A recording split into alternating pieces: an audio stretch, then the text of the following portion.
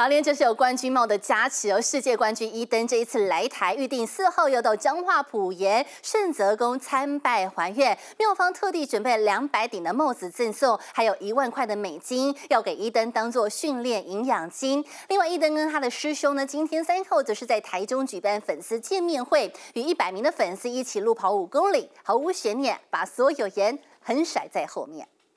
世界冠军伊等现身台中，和师兄 Blumenfeld 一起举办粉丝见面会。水壶，然后还有我们那个 Cadis 的这个保证卡，然后还有我的轮带。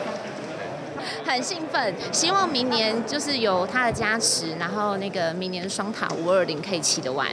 长长的排队人龙绵延好几公尺，一等签到手没停过，还有粉丝直接把脚踏车扛来签名。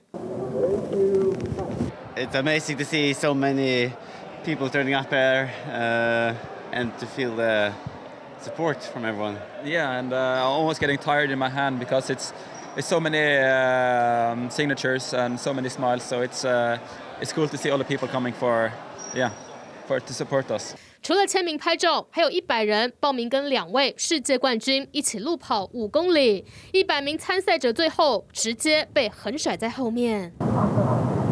挪威选手伊登，二零一九年戴着彰化普盐圣泽宫的帽子冲过铁人三项的终点，让圣泽宫一夕爆红。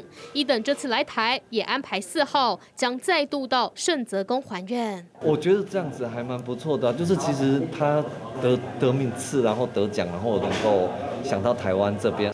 庙方特地准备了两百顶的帽子赠送，还有一万块的美金要给一等当做训练营养金。顺泽宫也挂起了红色布条，要欢迎世界冠军一等再次来访。记者林一峰、杨洋吉、方品文，台中彰化综合报道。